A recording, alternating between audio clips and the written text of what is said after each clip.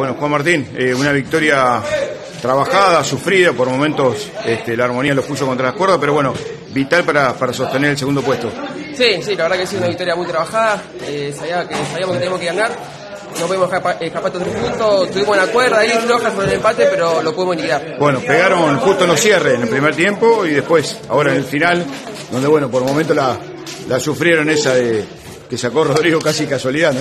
Sí, sí, la verdad que sí, tuvimos, pegamos los momentos justos, eh, cuando terminó el primer tiempo y ahora lo último, así que muy contento por la victoria.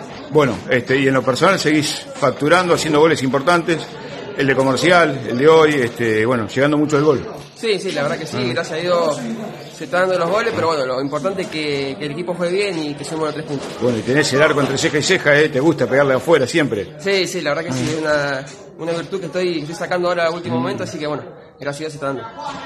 Bueno, tenían la responsabilidad de ganar para obviamente este, aprovechar la fecha libre de comercial y, y bueno, este, ante un rival como la Armonía que no se entregó nunca, ¿no? Sí, la verdad que sí, sabíamos que Comercial tiene libre, era clave estos tres puntos para despegarnos un poco y bueno, ahora ir un poco más tranquilo a San Francisco, que va a ser duro, pero bueno, hay que sacar los tres puntos como sea. Bueno, este, se viene la recta final, este, peleando ahí con, con Comercial, que tiro que, que le ganó San Francisco y que, bueno, también lo tienen que enfrentar, ¿no? Sí, sí, se viene el último partido, nosotros nos toca tener libre todavía, así que bueno, tenemos que hacer las cosas para, para ir a la fecha libre tranquilo y después la última fecha con Pacífico tratar de hacer los tres puntos. Bueno, la gente se ilusiona con por lo menos jugar el repechaje, ustedes también, imagino. Sí, sí, la verdad que sí, es, es algo que todos queremos, así que bueno, espero clasificar y hacer un buen papel con los de arriba. Gracias, Juan. No, nada, gracias a vos.